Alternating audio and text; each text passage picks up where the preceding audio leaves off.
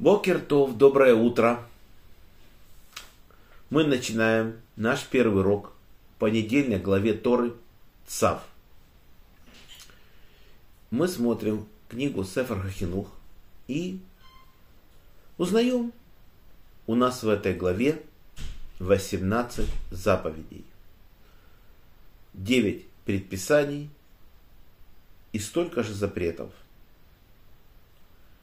Первая заповедь, о которой идет речь, это пепел. Значит, написано, что огонь на жертвеннике должен гореть до утра. И оденет коин рубаху из льна, на штаны оденет тело свое. И будет убирать пепел. Как это происходило? У коина есть одежды, в которых он служит – и есть одежды, в которых он убирает пепел. Перед тем, как убрать пепел жертвника, Коин должен омыться, в микву сходить. После этого он подходит к умывальнику, который расположен между шатром откровения и жертвенником, и омывает руки, свои ноги. После этого берет специальный серебряный совок, который находился рядом с жертвенником. Там было место крепления, где пандус, там было крепление, куда вставлялся этот совок. И Коин поднимался по пандусу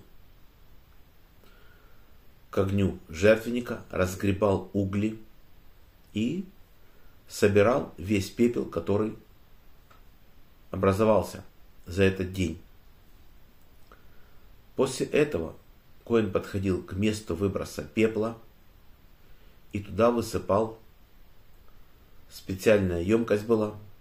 Пишут наши мудрецы, где-то 122 литра она была размером. Туда высыпал он пепел. Вот. В будние дни это совершалось прямо на рассвете.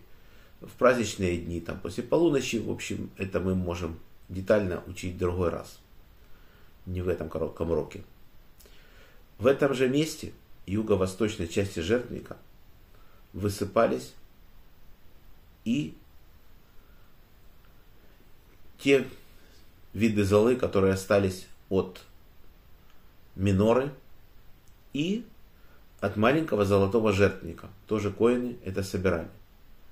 И самое интересное, что только коины, левиты, которые помогали в храме, казалось бы, пепел брать, нет.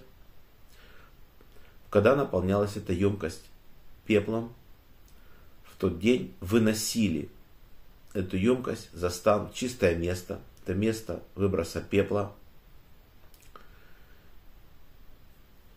И это место не просто только выброса пепла, там сжигали и жертву, допустим, жертву первого священника грехочистительную, и там сжигали и жертву Сангедрина, грехочистительную, если ошибка совершена, или первосвященником, или Сангедрином, и написано, что жертвы, кровь которых внесена в святилище, кровь внесена в святилище, то сжигается на огне вне стана, вот в этом месте выброса пепла.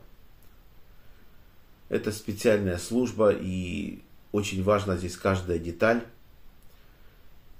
как и все, что в храме происходит. Если мы детально изучаем вот такие вот вещи, то Всевышний приведет мир – мы на это очень надеемся и просим его, чтобы он остановил эту кровопролитную войну, чтобы это все закончилось, и несчастья, которые сейчас происходят.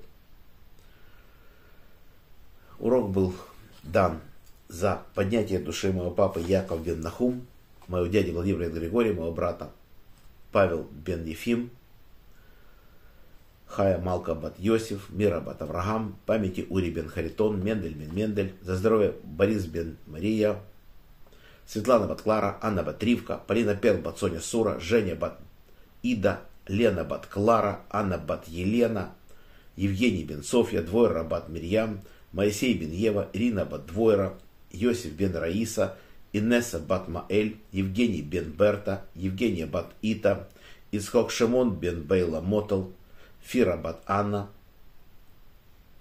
Гитл Бат Мириам. За хороший дух Арона Рье Бен Двойра, Денис Бен Нахум. Всем всего самого наилучшего. До следующих встреч.